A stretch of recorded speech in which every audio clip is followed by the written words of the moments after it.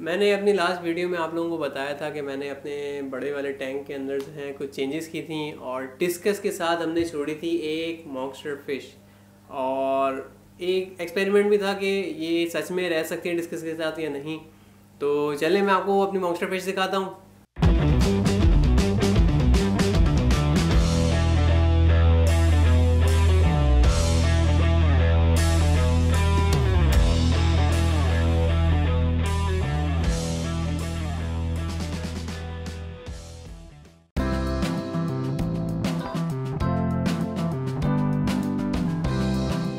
जी हाँ arowana.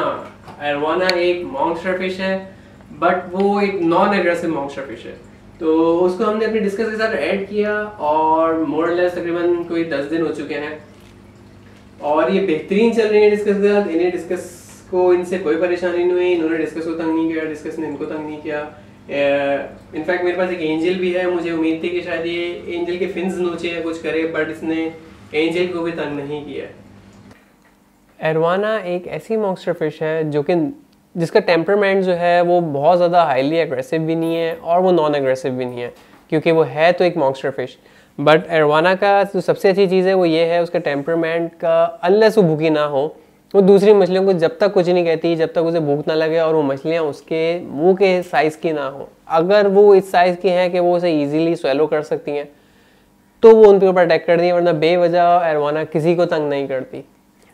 Arowana के साथ रहने वाली कम्युनिटीज़ में कभी भी आप मोलीज, प्लेटीज गप्पीज छोटे साइज़ की जो मछलियाँ हैं, वो नहीं रख सकते, क्योंकि एरवाना उसको खा जाएगी।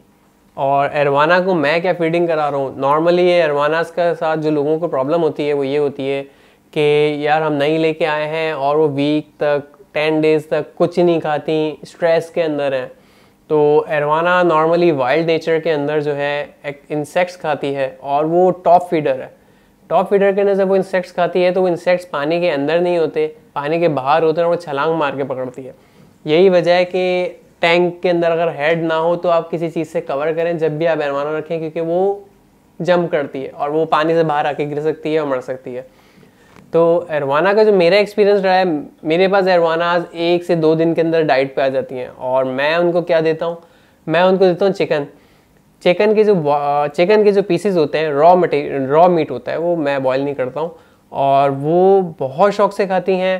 प्लस मैं उनको ऊपर से हैंग कर देता हूँ तो it just like they just feel they are just insects और समथिंग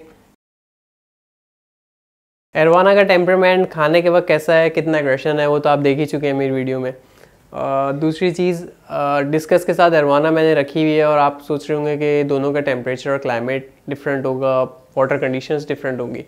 तो नई डिस्कस का जो वाटर का जो क्लाइमेट है, वो तकरीबन हर मछली के लिए बहुत बेहतरीन रहता है, क्योंकि डिस्कस ओवर सेंसिटिव है। मोर्टेलिटी कम होती है, बहुत बहुत हार्ड फ़िश है बट बीमारियाँ बहुत जल्दी कैच करती है। इसके अंदर पैरासाइट्स की प्रॉब्लम्स बहुत ज़्यादा आती है फंगल इन्फेक्शन बहुत ज़्यादा आते हैं वेलवेट डिज़ीज़ के अंदर बहुत ज़्यादा जल्दी आता है। तो इसलिए आपको डिस्कस का पानी जो है, बहुत जल्दी जल्दी चेंज करना पड़ता है। वाटर क्वालिटी अच्छी रखनी पड़ती है।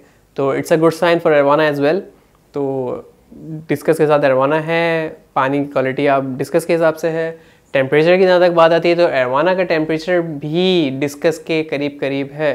28 टू 30 डिग्री सेंटीग्रेड डिस्कस के लिए भी बहुत अच्छा है प्लस एरवाना का भी सेम टेम्परेचर है। तो एरवाना को डिस्कस के साथ रहने में कोई तकलीफ़ नहीं है और डिस्कस को भी एरवाना के साथ में कोई परेशानी नहीं है। एरवाना का लाइफ एक्सपेक्टेंस जो है, वो है 10 टू 15 इयर्स नॉर्मली कैप्टिव में एरवाना 10 टू 15 इयर्स तक सर्वाइव करती है। और इसकी जो लेंथ है, वो इस वक्त मेरे पास जो है, वो तकरीबन कोई टेन इंचज़ की है। और इसका जो मैक्सिमम साइज़ आता है, वो थ्री टू फोर फीट तक जाता है। और थ्री टू फोर फीट के लिए ये टैंक मेरा बहुत छोटा है। मेरा टोटल टैंक ही फिफ्टी फाइव गैलन्स का है। मुझे कम से कम थ्री हंड्रेड गैलन्स का टैंक चाहिए होगा, जब इसका साइज़ इंक्रीज़ हो जाएगा। जहाँ तक मेडिकेशंस की बात है तो मैं बबल्स एंड ट्रबल्स यूज़ कर रहा हूँ और ये मेट्रो केयर है। मेट्रो केयर के लिए काम आती है और इससे जो इंटरनल फ़िश के अंदर जो भी पैरासाइट्स अगर कोई जनरेट हो रहे होते हैं तो रिमूव हो जाते हैं। और दूसरी वाटर कंडीशन के लिए सेम मैं एक्वा सेफ़ यूज़ कर रहा हूँ नेचर केयर यूज़ कर रहा हूँ। और ऑनेस्टली स्पीकिंग मैं खुद पर्सनली यूज़ कर रहा हूँ और बबल्स एंड ट्रबल्स के ये बहुत अच्छे प्रोडक्ट्स हैं, बहुत अच्छी मेडिकेशंस हैं। मेरी फ़िशेज़ पहले से ज़्यादा हेल्दी हैं। पानी की वाटर क्वालिटी बेहतरीन चल रही है मेरे पास इनके वाटर कंडीशनर से। पाकिस्तान में भी अब बबल्स एंड ट्रबल्स के जो प्रोडक्ट्स हैं वो अवेलेबल हैं। नीचे मैं डिस्क्रिप्शन में लिंक भी दे रहा हूँ। इनफैक्ट मैं नंबर भी दे रहा हूँ। अगर कोई चाहे ऑनलाइन डिलीवरी करवाना तो बिल्कुल ऑर्डर करवा सकता है। और इंडिया के अंदर अब ये लोकल मार्केट्स में इजीली अवेलेबल है तो आप किसी भी फ़िश स्टोर से इसको परचेज़ कर सकते हैं। तो आज के लिए इतना ही है, फिर मिलेंगे अगली वीडियो में कुछ नई चीज़ों के साथ। जब तक के लिए मुझे इजाज़त दें।